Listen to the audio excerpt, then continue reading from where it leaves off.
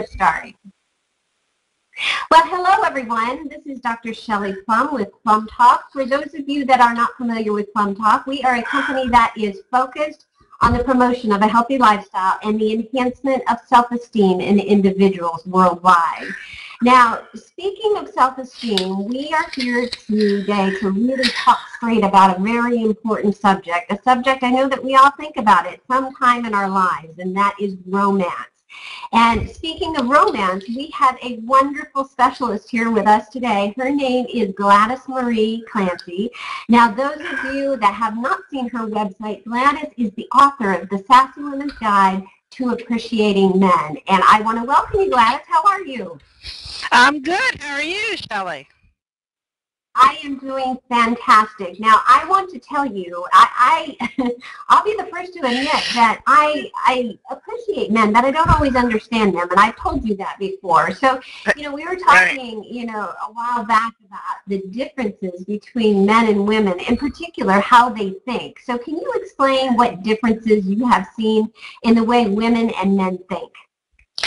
Well, there's a lot of basic differences. And it's important to understand these to really be able to Hmm, maximize your impact. Let's put it that way. Men compartmentalize. I mean, men can separate their work from their relationships. Women can't. For women, it's all mixed in together. And if they're having an issue with their relationship, it's going to affect their business. It's going to affect their ability to focus and their ability to be productive, their attitude, and it's going to be felt by their customers and their coworkers and everybody. And a simple explanation for that would be if you look historically, we can go back to the caveman days. Now the women in the caveman days were by the fire. They were taking care of the children, nurturing the family, and, and basically intuition and compassion were highly developed. They were highly mm, stimulated and, and in the brain of the female cave woman. And reading people and knowing their unverbalized needs was necessary for survival of the species.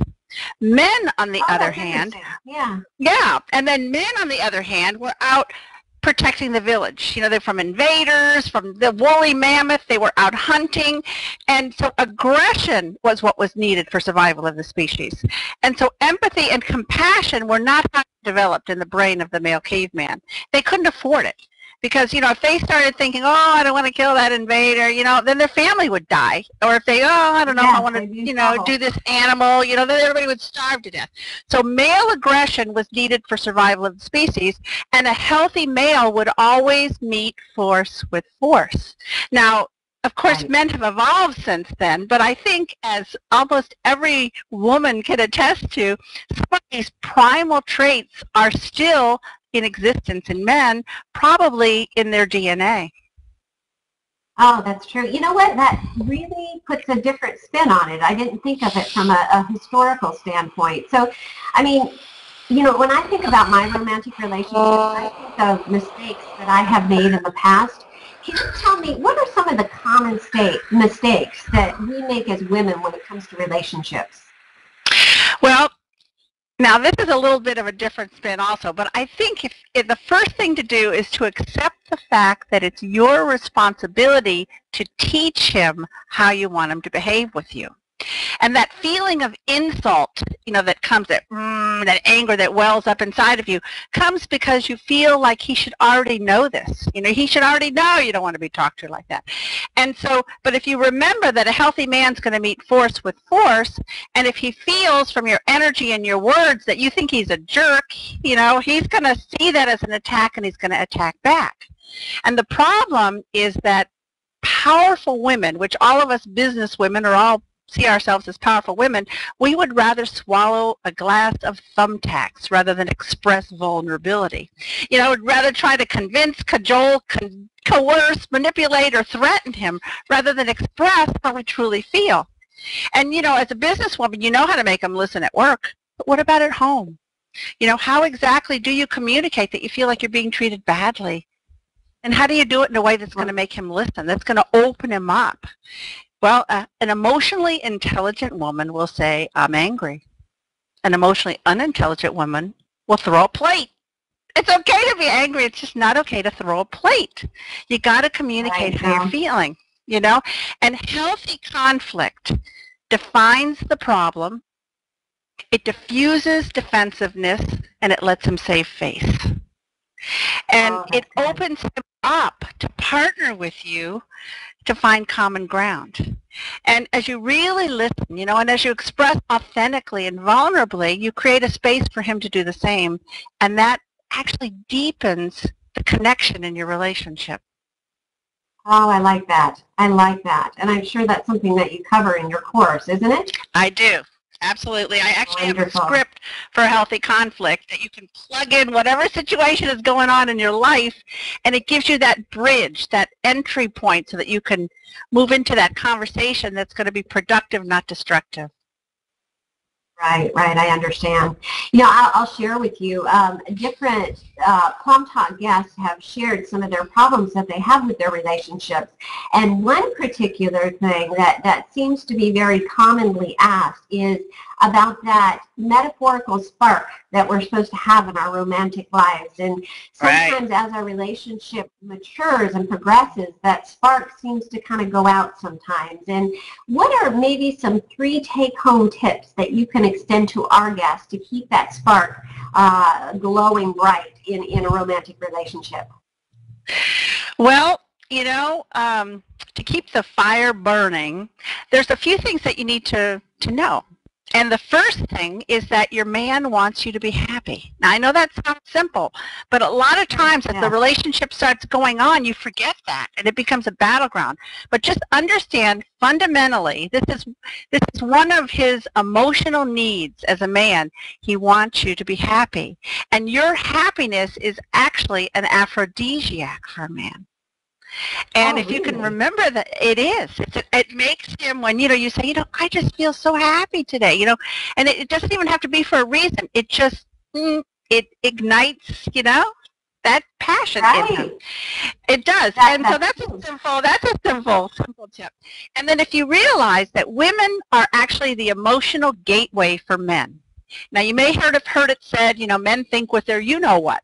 Well, that's a good thing actually because your girlishness, you know, your your your which is your power opens him up.